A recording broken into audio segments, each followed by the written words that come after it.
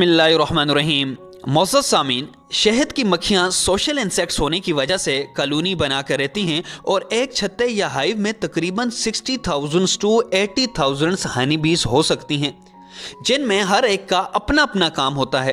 काम के लिहाज से कॉलोनी में हनी बीस के तीन मेजर ग्रुप्स होते हैं, मसलन वर्कर बीस क्वीन और ड्रोन। वर्कर बीस। कॉलोनी में सबसे ज़्यादा वर्कर बीस होती हैं, जो कि स्टीराइल फीमेल होती हैं। मतलब यह है कि ये इग्स यानी अंडों को प्रोड्यूस नहीं कर सकती।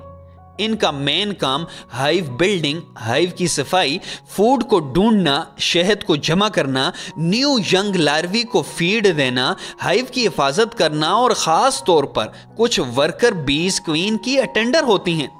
जिनका काम सिर्फ़ कवीन की हिफाजत करना और कवीन को फ़ूड देना है। कॉलोनी में एक अहम रुकन होता है, जिसको क्वीन कहते हैं, जो साइज़ में थोड़ी सी वर्कर बी से बड़ी होती है, जिसको मदर बी भी कहते हैं, और एक कॉलोनी में ये एक ही क्वीन होती है, जिसका मेन फ़ंक्शन एग ले करना, यानी अंडे देना है, और एक दिन में तकरीबन 2000 अंडे देती है। क्वीन केमिकल सेंट और फिरोमोन्स को भी रिलीज़ करती है, जो दूसरी वर्कर बीज में कोऑर्डिनेशन के लिए इंपॉर्टेंट है और दूसरे वर्कर बीज को दूसरी कोई और क्वीन ढूँढने से भी रोकती है। कॉलोनी में मेल मेंबर भी होता है, जिसको ड्रोन कहते हैं।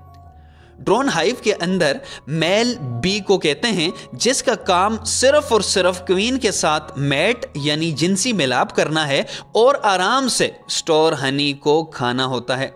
ड्रोन की आईज थोड़ी सी बड़ी और बॉडी वाइडर होती है। वीडियो पसंद आए तो वीडियो को लाजमी लाइक कीजिए और अगर आप इस चैनल